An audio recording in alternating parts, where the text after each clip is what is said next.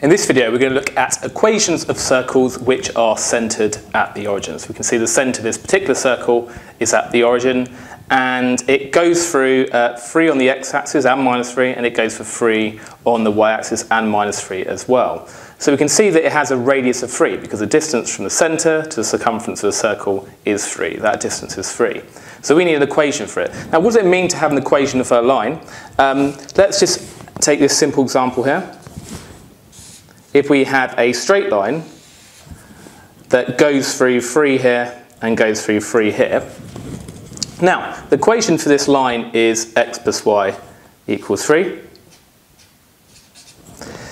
And what that means is whatever point we pick on this line, this is like a membership rule. It dictates if a point is on the line, it has to obey this particular rule. So if I pick this point here, for example, that's the point 0, 3 it has to obey this membership rule here. So we can see the x value is 0 plus the y value, which is 3 in this case, does that to 3. So it obeys that rule, so that point is allowed to belong on the line.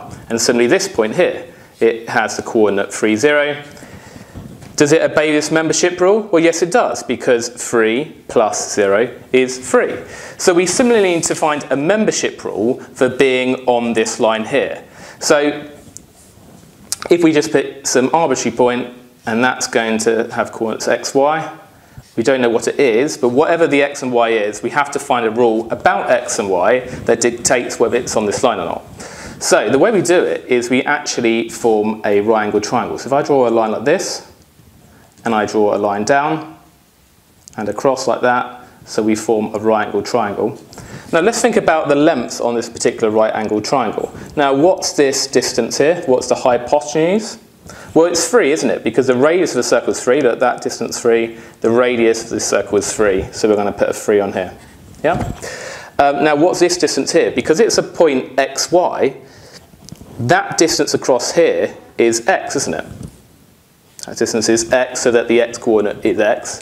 And this distance here is y, because the y-coordinate is y, so it's going up to a y value of y. So we've now got this right angled triangle. Now what do you know that links the three sides of a right angled triangle? Well, Pythagoras theorem. So remember, it's the shorter side, one of the shorter sides squared plus the other shorter side squared equals a hypotenuse squared. So we've got x squared plus the other shorter side squared, y squared, equals 3 squared, which is 9. Yep. And regardless of where that point was, that point could be, I could have chosen that point to be this point on the circle. Does it obey this membership rule? Well, x is 3, y is 0. 3 squared plus 0 squared is 9. It works. What about if I chose this point on the circle here? Minus 3 squared, or minus 3 squared is 9, plus the y value, 0 squared is 9. Or point 0, 3. 0 squared plus 3 squared is 9. So it works. And whatever point I pick on the circle, because of Pythagoras theorem, it's going to obey this particular equation. And more generally, the equation of a circle which has radius r, in this case the radius was 3, but we could have any radius, that's centered at the origin is x squared plus y squared equals r squared. And it, that just comes from Pythagoras theorem. So you don't need to remember the Pythagoras bit, you just need to remember this equation. If it's a circle centered at the origin with radius r, it has this equation. In this particular case, the radius was 3, so it'd be x squared plus y squared equals 3 squared, which is 9. So let's just pick a few examples. Got this circle here. And it goes through 4, 4, minus 4, minus 4. What's the equation of the circle? Well, we just apply this formula here. It's going to be x squared plus y squared equals radius squared. That's 4 in this case. That radius is 4. 4 squared is 16.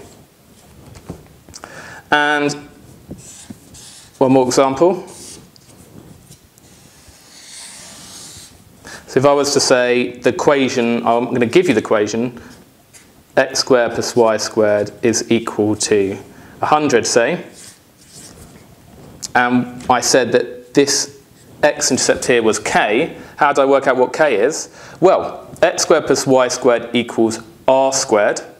In this case, r squared is 100. So what squared is 100? Well, it's 10. So that means that k must be equal to 10. Now, two very quick test your understanding questions. See if you get it.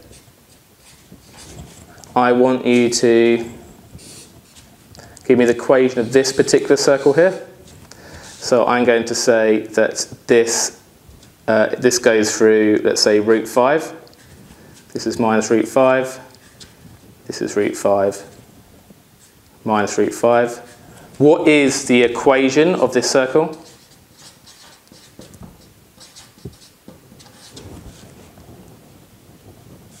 And secondly,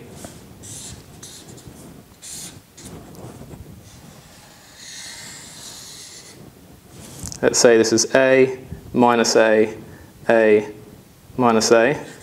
If the equation of this circle is x squared plus y squared is equal to 36, then what is a? You may want to pause the video to have a quick go at that. Right, hopefully you've had some time to think about this one. Well, if we just use this equation again, we have x squared plus y squared. Note that x and y are variables here, whereas r is a constant. So x and y stay as variables, x and y, is equal to the radius squared, r squared. Well, root 5 squared is root 5 squared is 5, isn't it? So we just get that. And the second one, if x squared plus y squared equals r squared, r squared is 36, and therefore the radius is 6, and, the, and a is the radius, so in this case, a is equal to 6.